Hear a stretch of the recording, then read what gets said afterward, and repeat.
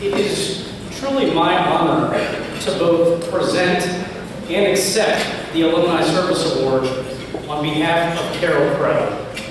We very much hoped that she could join us today, due to some ailments she has from old surgeries to her back and leg, she couldn't make it up from her home in Watkinsville, Georgia to be with us today.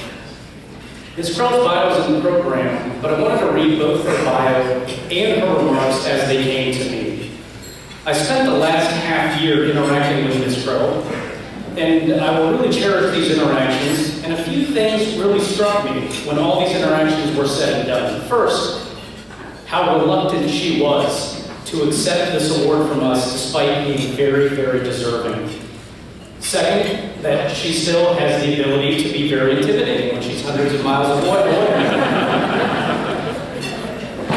and third, how much she really loved her students and the entire Academy family, each of us. The following are her words, and she very much deserves for her words to be read to all of you. The first piece of this is more biographical. I was born in Pittsburgh, Pennsylvania, and remain one of those annoying Steeler fans. In 1950, I came to Columbus and considered it my home until this little side trip to Georgia in 2008. A little unforeseen the way fate works. I finished two years of college there and had the chance to enter a work program. In those days, choices for women in the service area were few, teaching, nursing, or a home ec degree. I had never considered teaching, but it seemed a logical choice since I had covered the basics. So off I went to New York to meet my first class of 54 second graders. It was still post-World War II, and schools weren't being built fast enough. My own personal best was 66 sixth, sixth graders in an old cafeteria. I finished my own schooling in the East and back to Pittsburgh for a master's degree. I taught at every level from grade two to university with a little administration thrown in, opened a reading center, but when it came to choose my favorite, it was eighth grade. That was the niche for the rest of my 20-year pre-academy days. One other thing I would like to mention during those last four years pre-academy, I taught guitar lessons on the side, needed background singers. What emerged was a 200 plus member singing group with guitars and basic instruments that was very successful and very dear to my heart.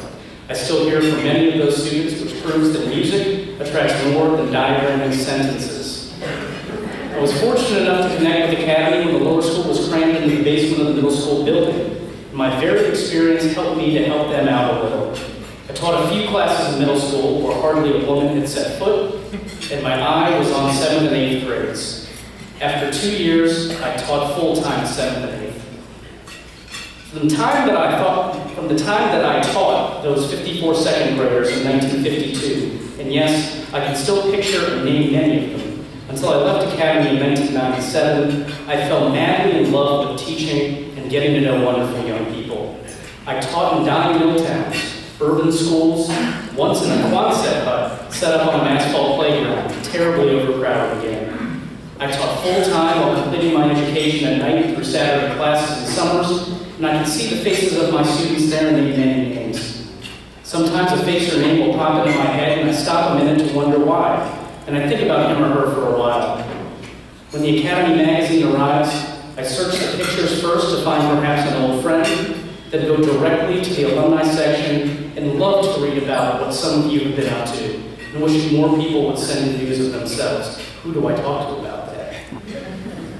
I spent all evening devouring that magazine, and with each name, I see an eighth grade face and smile and haircut, maybe braces or glasses. And part of my mind, you haven't changed. Since I lived alone with my garden, with my gardens and dogs, I had a lot of time to review the day and make mental notes about certain students that I needed to touch base with, worried about a few that perhaps had difficulties with me or with the work, someone I had neglected to recognize. All of those things that most teachers do. Indeed, I did take my work home with me, both in my briefcase and in my mind. Though I heard the grumblings when we were together in those four walls, much was going on. You wrote amazing things and understood the ideas behind an author's words and were good-natured about the grammar part. I could never understand why students hated diagramming. It was so much fun for me. I need to mention colleagues. I dare not name names for fear of forgetting. So many of them actually changed my life. I felt surrounded by goodwill and more. Teachers were enthused and helpful, and over the years, they were as dear to me as my family members. The Academy family was more than a saying. To me, it was real, and I will never forget those who brightened my life for so long.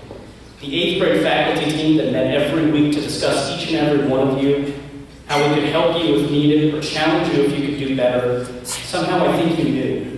Saw our fondness for each other and how closely we watched you grow. I believe there is no more beautiful experience in the world than in September to study the students coming in and see the growth that comes with the weeks and months. Learning about you through writings and ideas you express, speaking with you about the efforts you are making. Each year, each day, I learned so much from you. We learn together. And at the close of each year, I was so proud how you have grown in just that one year. So, be proud of your school. To me, as I look back on it, it was a magical time in my life.